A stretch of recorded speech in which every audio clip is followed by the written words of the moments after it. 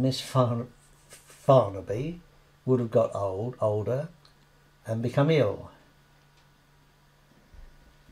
Uh, and she would have died. Gently, peacefully, nothing. Yeah. Yep. Um, Mulberry would have met her in the garden after she died. She would look rosy, Mhm. And he would take her hand and lead her away. Yeah. See, I'm welling up. Ridiculous, all isn't right. it? You know, I- Ridiculous. I'm starting to too. but I mean, I feel the emotion from that. It would have been Why is some- that so emotional? Do you think?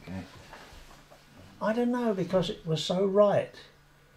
It was so right. It justified what had gone on. It justified Mulberry, and she knew. Uh, she would have known. Because the line we didn't write but would have would would have been her saying, "I knew it was you," you know. Yeah. Wallop. yeah. And he, there was a little bridge in the garden, and he'd have simply Brought her across. that would have been the end, you know. Yeah. We'd have all cried our eyes out.